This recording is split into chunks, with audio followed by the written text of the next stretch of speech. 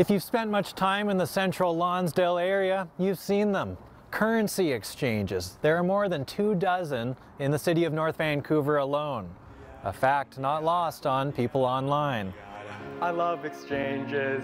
I love the currencies. I love exchanges. In West Vancouver, councillors were concerned enough that they introduced a rule that limits how many currency exchanges can be on any given block, along with other businesses. Now, the City of North Vancouver has singled out currency exchanges, or money service businesses, banning new ones from setting up at street level. But why are there so many here?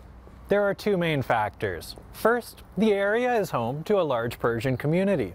Second, international sanctions make sending money to and from Iran more complicated than other countries. It started almost 20 years ago with concerns about Iran's nuclear program. By 2011, Canada had introduced sanctions cutting off Iran's financial institutions. People can still send and receive money, but it's closely regulated. The businesses doing the transfers need to follow steps to make sure there isn't money laundering, and the transfers aren't tied to nuclear weapons development or terrorism.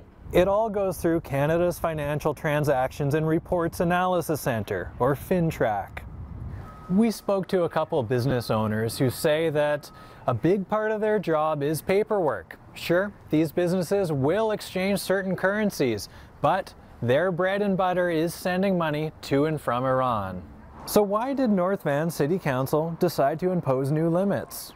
They have sort of what we might call dead space in their windows. They're not kind of things that attract uh, pedestrians to want to go in and shop, to have an active zone. And so we're saying they are part of the makeup that needs to serve the community, but it's where should they be? If we want to have a walkable community, if we want to have that vibrancy, we don't want them on the ground level on the main, main areas. Don Bell says this wasn't meant to target a specific community.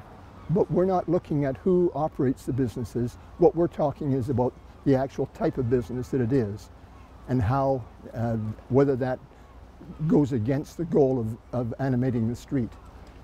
So it's really got nothing to do who operates it.